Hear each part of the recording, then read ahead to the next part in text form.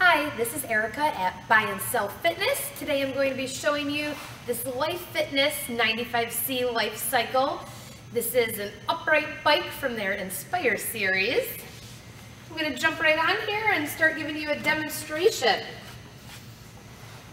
This bike will really help you replicate actual riding motions.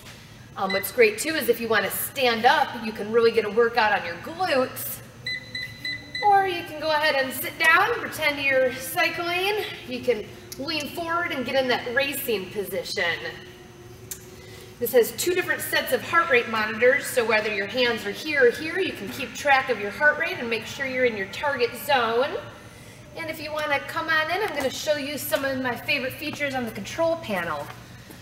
Also, make sure you ask about the optional cardio theater on this one so you can get all set up to watch TV or the news, your favorite movie while you're exercising.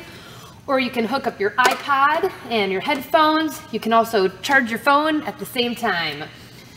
Right here, you can adjust your resistance level also. So I'm going to go ahead and push quick start and we'll get right to work.